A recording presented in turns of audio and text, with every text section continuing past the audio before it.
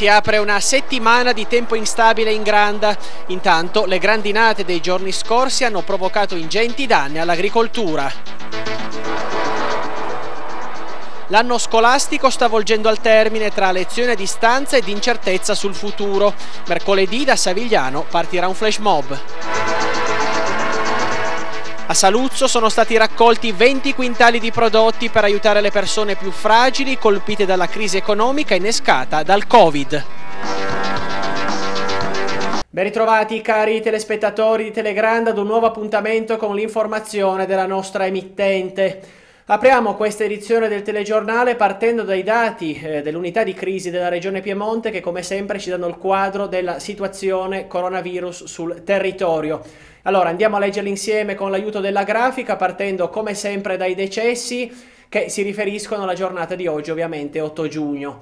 13 nuovi decessi a livello regionale, 3.954 quelli in totale. In provincia di Cuneo eh, i decessi totali sono 388, nessun nuovo decesso nella giornata di oggi, dato dunque positivo.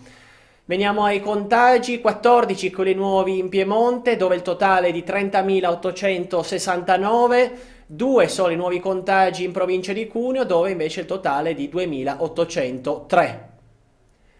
E chiudiamo come sempre con i guariti, in Piemonte sono in totale 20.653, 120 quelli nuovi, 5 invece in provincia di Cuneo dove il totale è di 2039.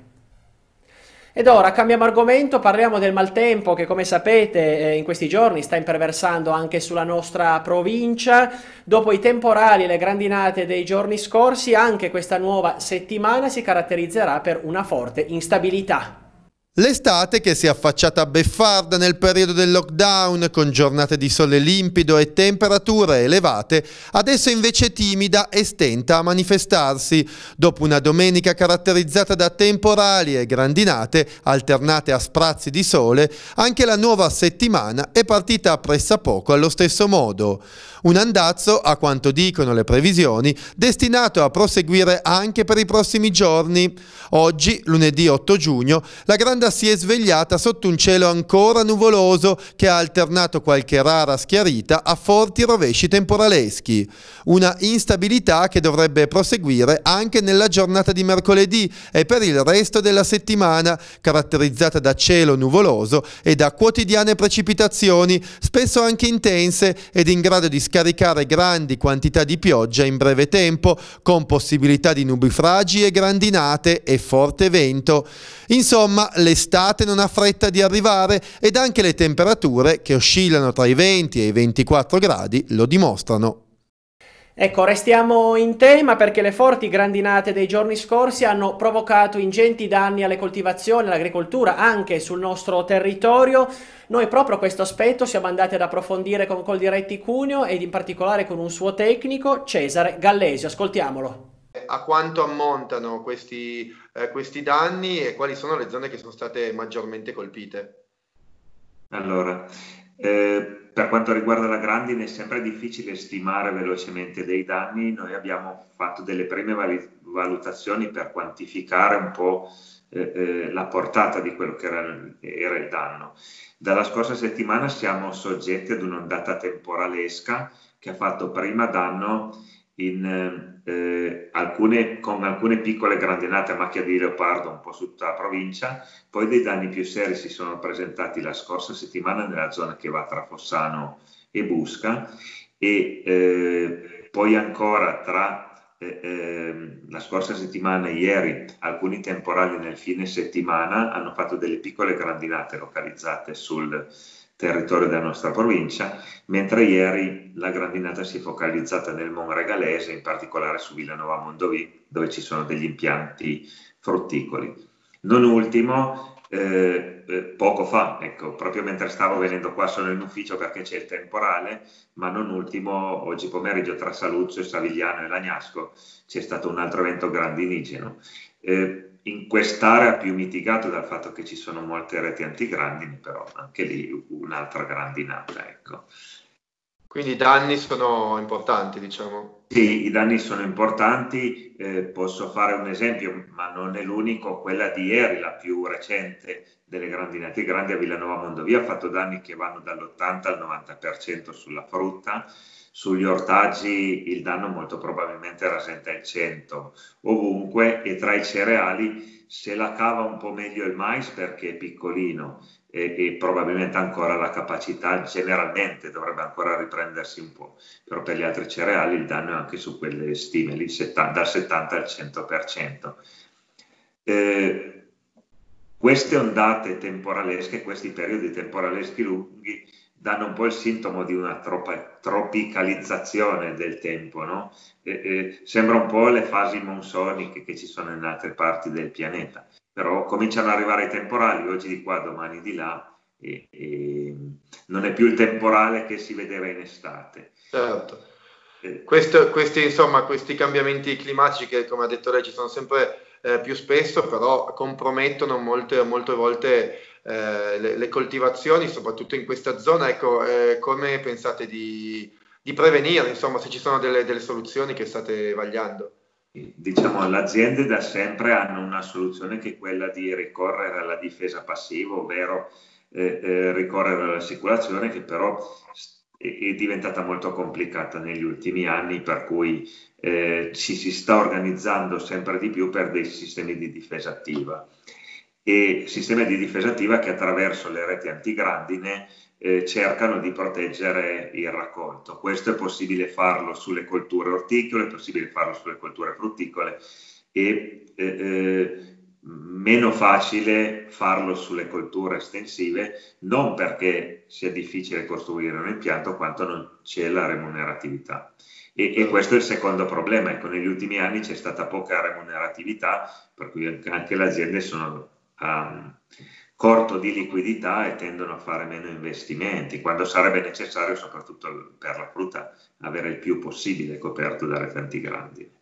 Ed ora parliamo di sanità. Nei giorni scorsi presso l'ospedale Santissima Annunziata di Savigliano è stato effettuato un prelievo multiorgano e multitessuto su un paziente deceduto in rianimazione dove era stato ricoverato qualche giorno prima per una patologia molto grave. Effettuata la diagnosi di morte encefalica con criteri neurologici, clinici e strumentali, è trascorso anche il periodo di osservazione previsto, vista anche la volontà positiva, la donazione e l'idoneità del donatore, il paziente è stato trasferito in sala operatoria dove è stato effettuato il prelievo.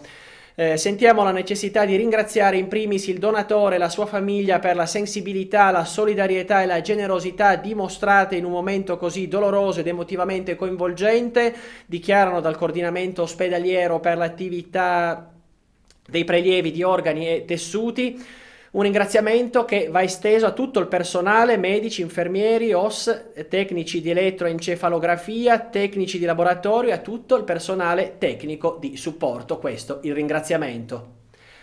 E ora par- cambiamo argomento perché in questo periodo l'attenzione è tutta rivolta al mondo della scuola, mondo che, come saprete, nelle scorse settimane, negli scorsi mesi, in qualche modo dovuto reinventarsi tra didattica a distanza e lezioni virtuali. A Savigliano è nato un movimento che si chiama Andremo tutti a scuola e questo movimento per il prossimo mercoledì 10 giugno ha organizzato un flash mob. Allora nel prossimo servizio andiamo a scoprire per quale motivo a Savigliano è nato un gruppo eh, che si chiama Andremo tutti a scuola che per mercoledì 10 giugno ha organizzato un flash mob. Allora, come è nata questa iniziativa e qual è la ragione della vostra protesta?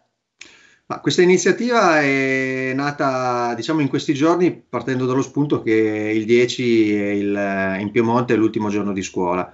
Eh, tra l'altro, giorno in cui molti, anzi direi tutti gli, gli, studenti gli alunni, purtroppo i bambini non potranno trovarsi anche solo per salutarsi. Il, diciamo, l'iniziativa nasce da un problema, il problema che abbiamo vissuto tutti in questi due mesi e mezzo, tre mesi, ovvero dal momento in cui di fatto le scuole sono state sospese. E come padre di un bambino di quasi dieci anni al quarto anno delle scuole elementari ho dovuto affrontare i problemi che tutti hanno dovuto affrontare, diciamo, dal lato genitori, eh, e che hanno voluto, problemi che sono coincisi col fatto che di fatto i bambini non sono più potuti andare a scuola e hanno dovuto affrontare problemi molto grossi a livello di avanzamento del loro processo educativo.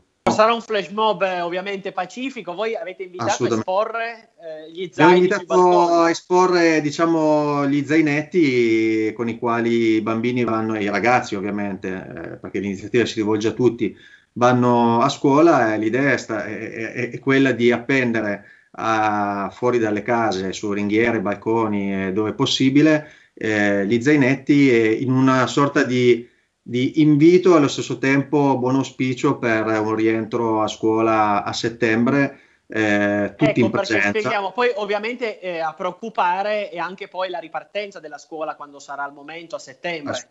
Assolutamente, il problema è proprio quello eh, nel senso che ovviamente dovranno essere garantite, noi siamo ovviamente assolutamente attenti a, a tutte le questioni di sicurezza, D'altro canto eh, pensiamo che non si possa più assolutamente eh, rimandare un uh, discorso di rientro in presenza eh, di bambini, eh, bambine, ragazzi e ragazze perché no, semplicemente non può più, più essere prorogato. Noi pensiamo che sia assolutamente eh, importante rientrare perché il, l'ambiente domestico e i genitori eh, non possono assolutamente sostituirsi all'ambiente scolastico certo. e agli insegnanti, che sono il fulcro del, della scuola.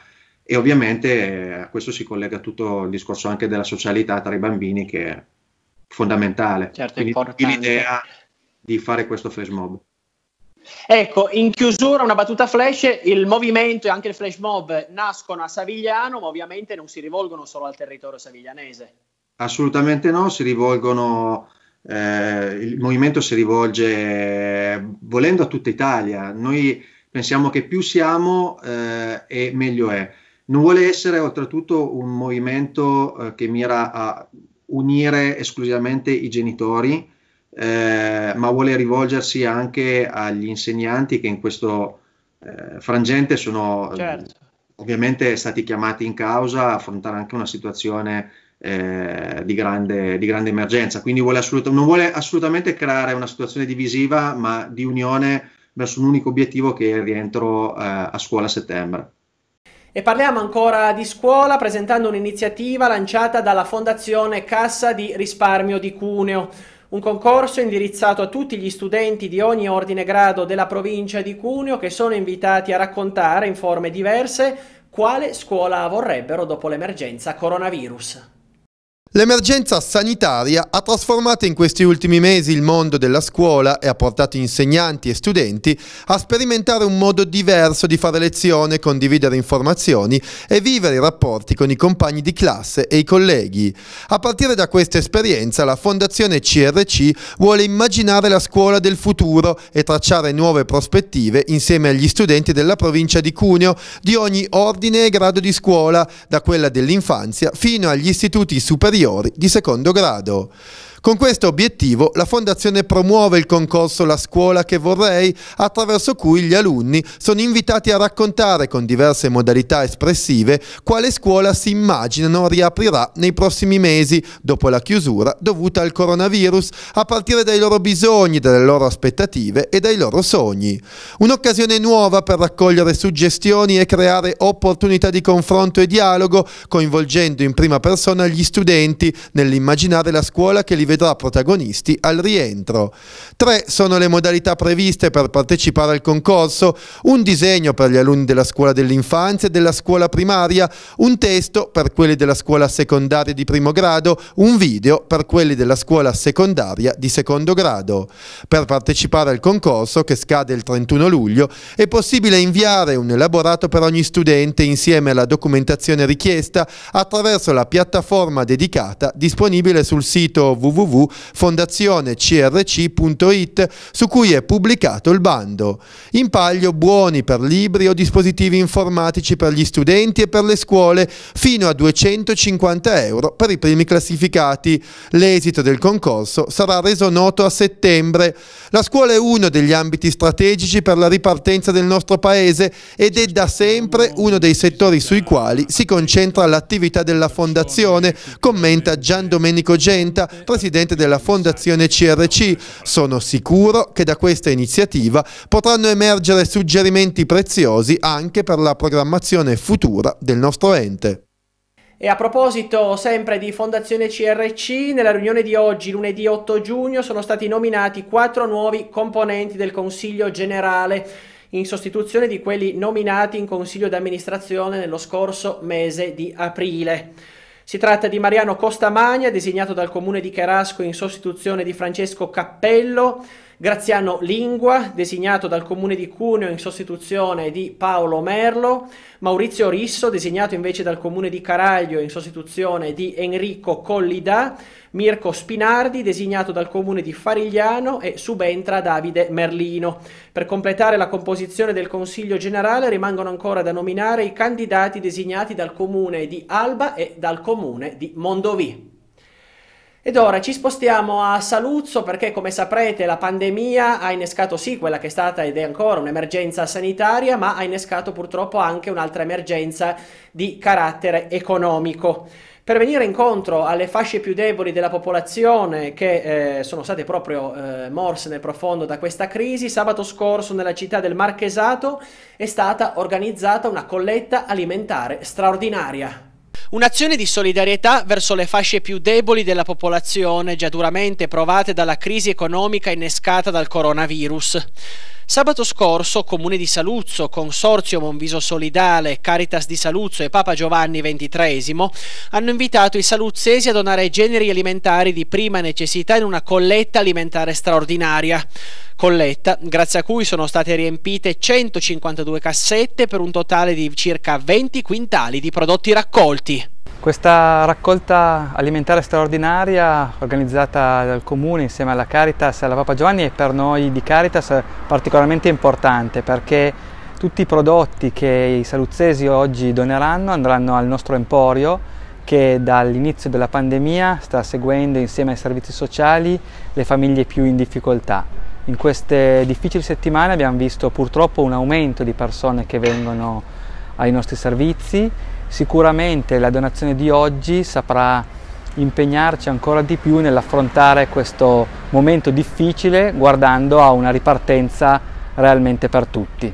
Il mondo del volontariato, il mondo delle istituzioni si è raccolto intorno a questa iniziativa che ci permette di completare le tante azioni che abbiamo realizzato a favore della popolazione saluzzese colpita dall'emergenza Covid oltre ai buoni alimentari utilizzabili anche per generi di prima necessità insieme alla Caritas Saluzzo e all'Associazione Papa Giovanni con tanti gruppi di volontariato stiamo facendo una colletta alimentare straordinaria che poi verrà distribuita eh, nell'Emporio Solidale Cittadino eh, grazie agli operatori Caritas e insieme all'Associazione Papa Giovanni, al Consorzio Monviso Solidale che gestisce i servizi sociali per conto del Comune di Saluzzo eh, sarà anche portato nelle case dei saluzzesi in difficoltà. Penso che sia un ulteriore gesto eh, che dimostra l'affiatamento che c'è tra istituzioni e mondo del volontariato, la capacità di fare squadra, di fare sistema,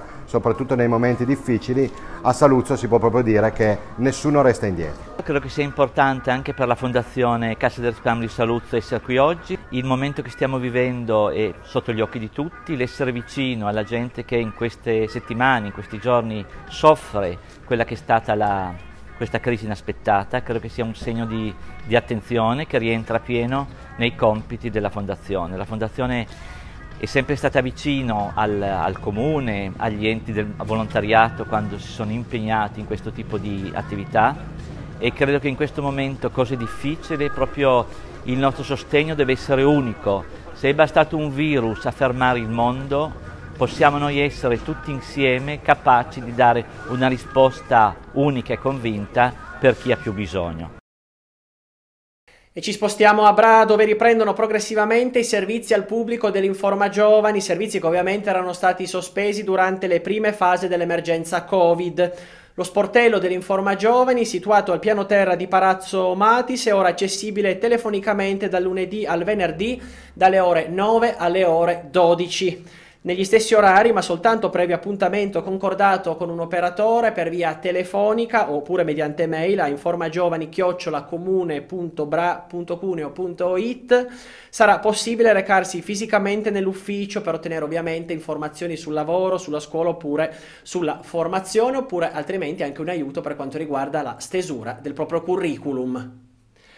Ed ora ci colleghiamo con la nostra collega Zaira Mureddu per scoprire quali sono le ultime novità dal territorio mauregalese. A te Zaira.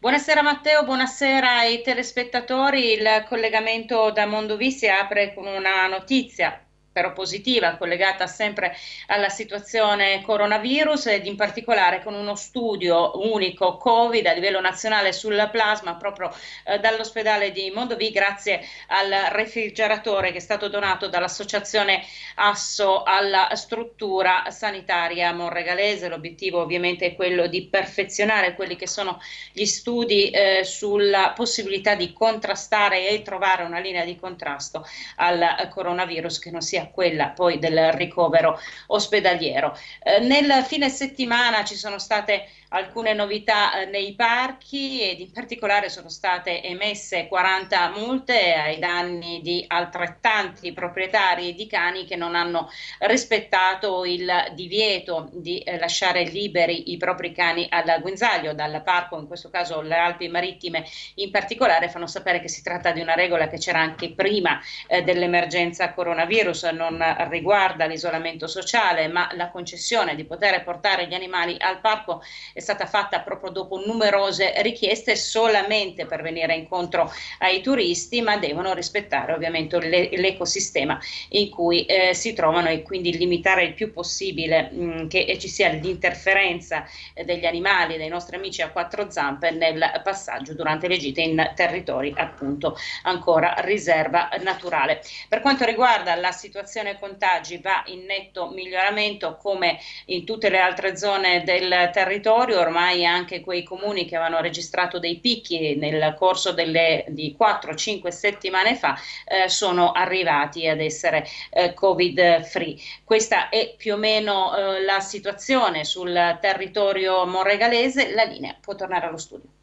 E chiudiamo questa edizione del nostro telegiornale con una notizia di sport, in particolare di pallavolo maschile di serie A2. Il mercato del VBC Synergy Mondovì prosegue con un importante colpo, infatti è stato ingaggiato il centrale Roberto Festi.